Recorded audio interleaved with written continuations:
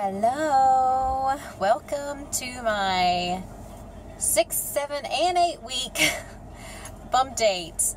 Um, the last few weeks have brought a lot of changes, um, and in some ways, it's felt like they've just flown by because I've kind of lived the last few weeks in a fog and I don't really remember the last three weeks. Um, and another part of me feels like it's just drug by. Um, at five weeks and five days, morning sickness hit like a hurricane.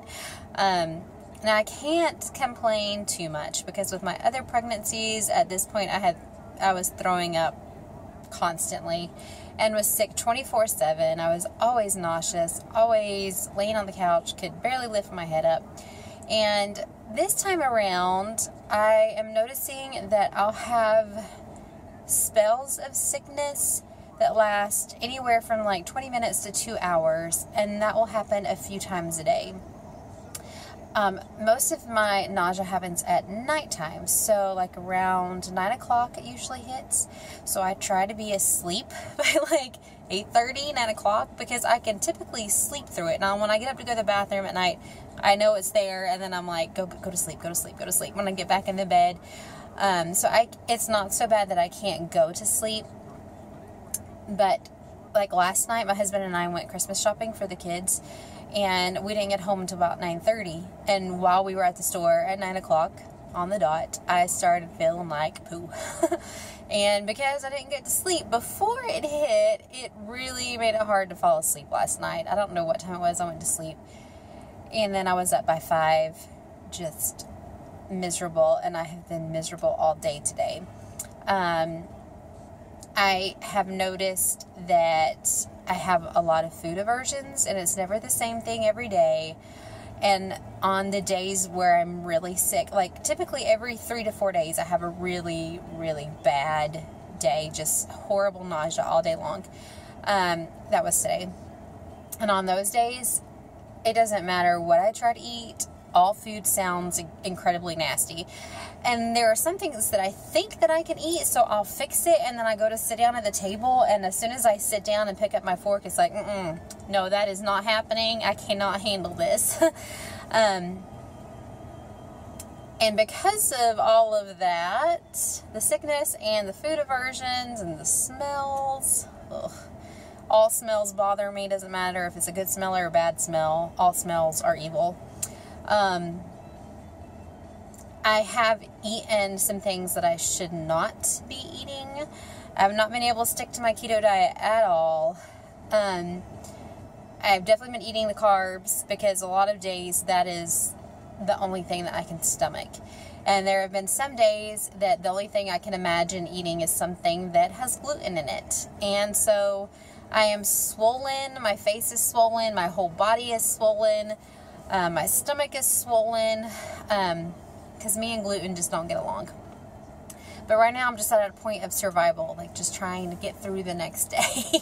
and even though I know I'm going to feel bad the next day for eating something today, sometimes that's the only thing I can eat. And so I'm just trying to survive right now. My midwife says that the whole point of the first trimester is just to survive through it until the next trimester. So that is definitely where I feel like I am. I am in survival mode.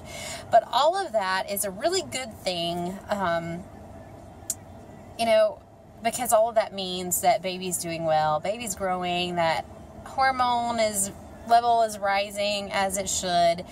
And that so that's comforting even through all the misery.